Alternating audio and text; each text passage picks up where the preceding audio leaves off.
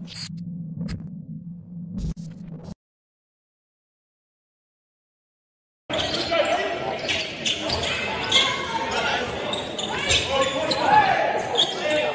you go. Two points for the five. Elite Tech.